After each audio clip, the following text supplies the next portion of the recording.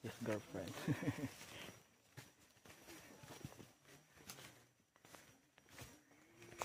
nah ke mana lagi Jacob nih berputar-putar